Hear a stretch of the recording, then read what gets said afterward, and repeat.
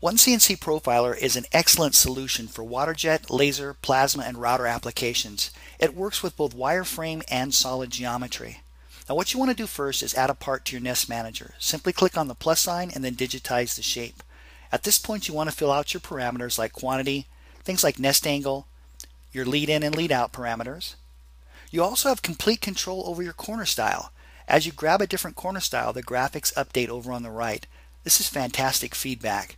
You have that same type of great feedback when setting up your tabs.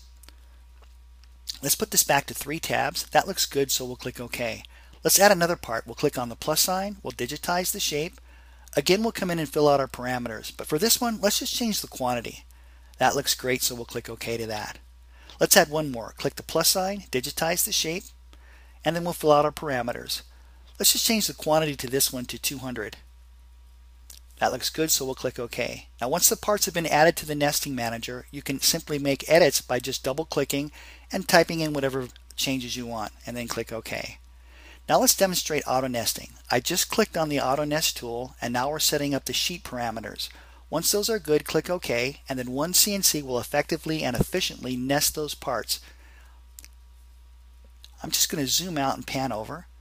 To machine this, just click on Cut Nested Parts, you can optionally set up your start code, profile codes, router codes, and end codes. Those can be saved for later use as well if you want. Complete control over your different offsets. You have control over drilling, pre-drill, part drilling. There's also a fantastic engraving option as well. To create CNC code, right-click, select Post Group, grab the machine tool you want to use, and hit Post. Designate the name and where you want to save the CNC program, and there you go. There's the CNC program. Now, of course, the editor can be resized. I'm just dragging it over to the right and dragging it down a little bit. You can also upload and download and perform all kinds of nice edits inside there if you want. If you want to change the program for a different machine, just select a different post processor, go back in and hit post, and here you go. There's a brand new CNC program made for a different machine within a couple of seconds. Now let's take a look at manual nesting.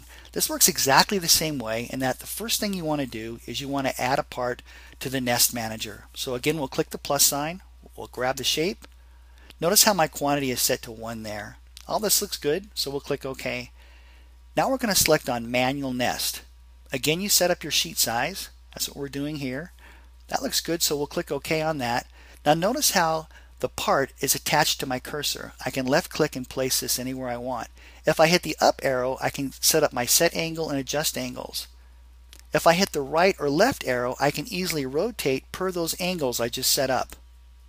Now I'm just nesting one part here, but you can nest as many parts as you'd like.